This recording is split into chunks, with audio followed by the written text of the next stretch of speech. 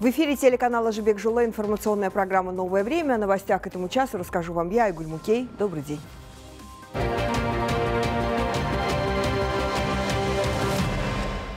Глава государства прибыл с рабочей поездкой в Карагандинскую область. В первую очередь президент посетил металлургический комбинат «Кармет» в Тимиртау. Касым-Жомар Токаев ознакомился с работой доменной печи номер три, объем производства которой составляет почти 4 миллиона тонн чугуна в год. Руководство компании доложило о выполненных и реализуемых проектах развития производства на сумму свыше 3,5 миллиарда долларов. Главе государства также продемонстрировали работу конвертерного цеха номер два и машины непрерывного литья заготовок, которые производят слябовые и блюмовые заготовки.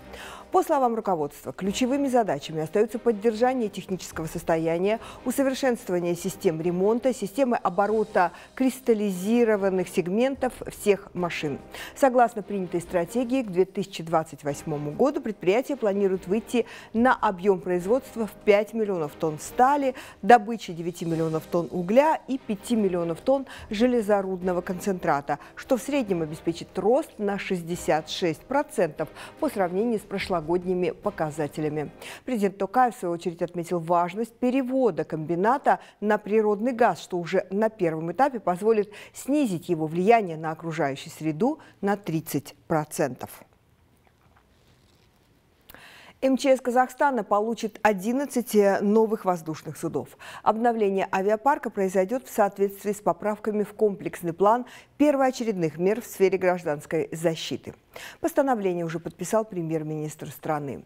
На воздушные суда потратят почти 25 миллиардов тенге. Сумма будет выделена поэтапно из республиканского бюджета до 2027 года.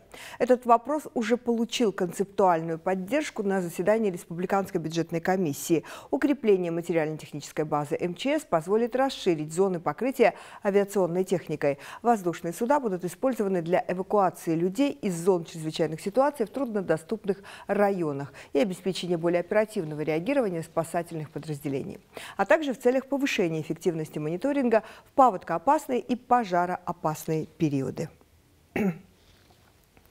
Не за горами новый учебный год. И готовятся не только учащиеся и их родители. Последние штрихи для встречи гостей делают и в школах.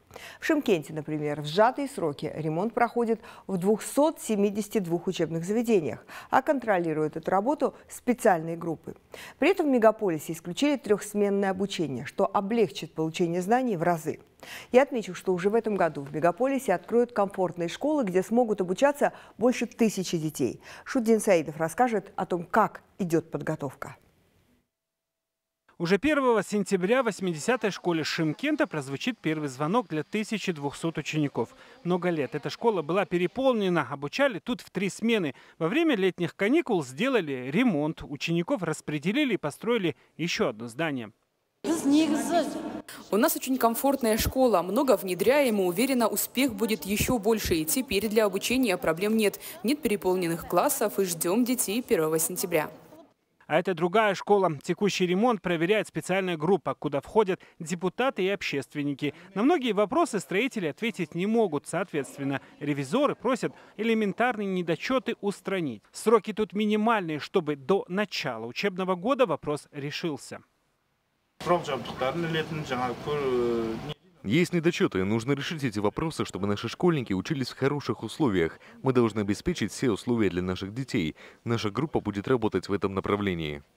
Одна из главных проблем в Шимкенте решена. Школ с трехсменным обучением в мегаполисе больше нет.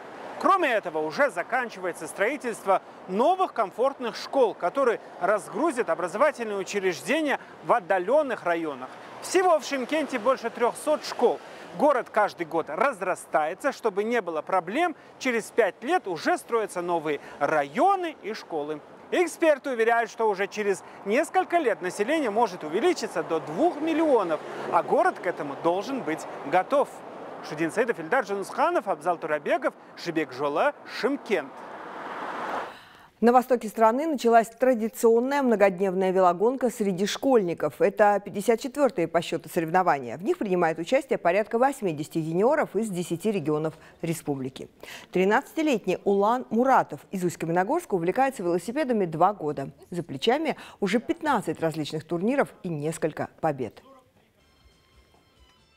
На этом соревновании, так как будут ребята намного старше меня, я хочу набраться опыта и чтобы в следующем году показать себя здесь еще лучше. Последняя гонка была у меня в Астане.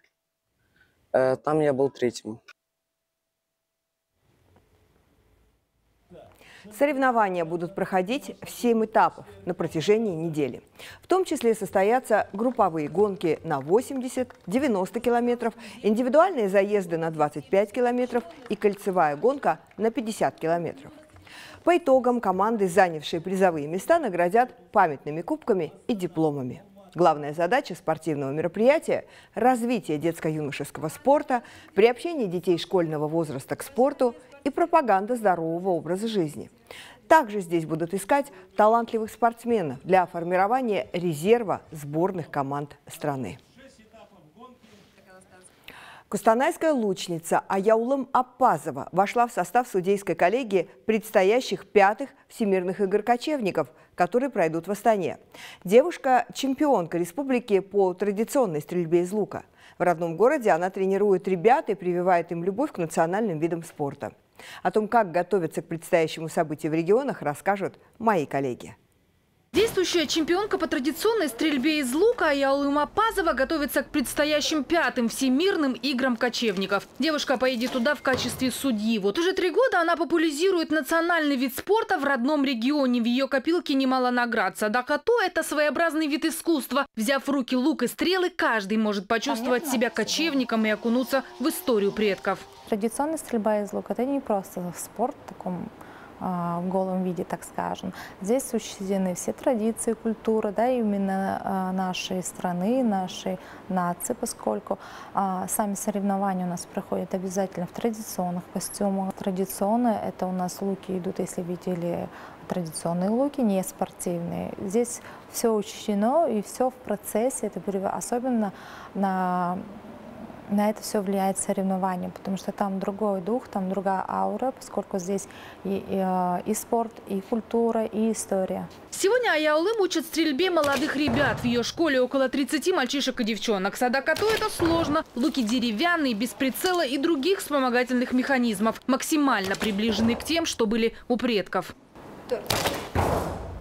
У ребят уже немало достижений. Они лучшие в Кустанае, покоряют вершины в республике. В будущем мечтают стать участниками игр кочевников. А в сентябре будут искренним болеть за наших. У меня прям были в детстве моменты, когда я вот брала знаете, всякие палки, всякие нитки и бегала по дому, вот я стреляю. Это большая мечта. Если для других видов спорта есть Олимпийские игры, то у нас есть игры кочевников. Для нас это точно такая же цель, как и для других Олимпиад. Так что что мы очень много трудимся, чтобы обязательно, когда мы пойдем в молодежку, туда попасть. Пока ребята только мечтают стать участниками соревнований такого масштаба, их тренер делится опытом. А я Улым два года назад вошла в топ-16 лучших спортсменов. Тогда игры кочевников проходили в Турции. Теперь на ее плечах еще больше ответственности. Это судейство, которое должно быть грамотным и справедливым. Любовь Облачкина, Кайрат Елеусизов, Жебек Жола. Желаем успехов Аяулам и другим казахстанским спортсменам. А пока это все. Полную картину дня мы представим уже вечером. Встретимся с вами в 19 часов 45 минут. Хорошего дня и всего доброго.